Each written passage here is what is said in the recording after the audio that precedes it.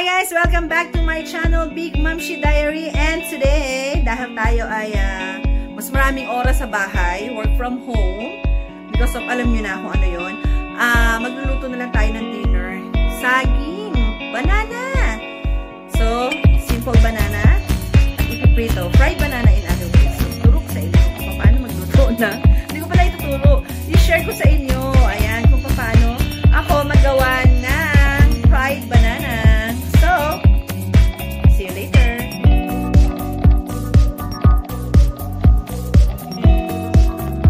Bye to guys, gagamit tayo ng saging na saba. So, ayan, nahiwa ko na siya. So, ito yung saging na saba na ginto ang presyo. So, saging na saba.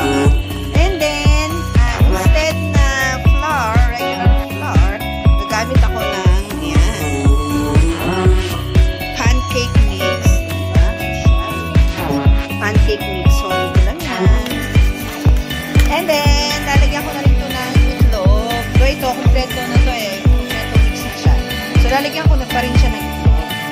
Ayan. So, nilagyan natin. Isang piraso ng itlog. So, dyan ko na rin yan siya dip, dip.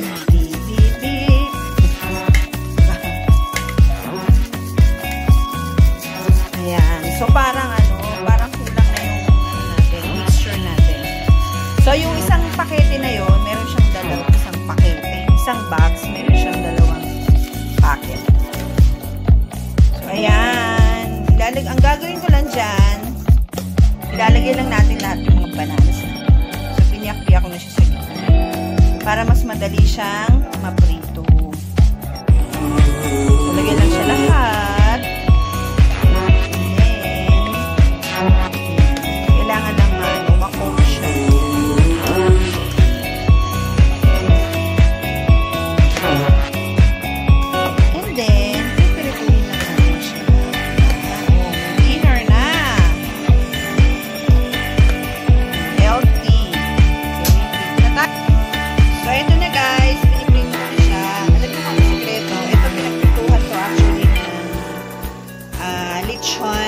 kawali. So, dyan ko prinito yung ating uh, banana. Para ano, di ba? Oh, may flavor, di? Bongga. Ah, so, ayan. So, medyo malalim yung ano natin ng oil para maging fry siya. So, ayan. Yung golden brown lang natin ating mga saging. And yes, it's ready to eat. So, ayan guys, important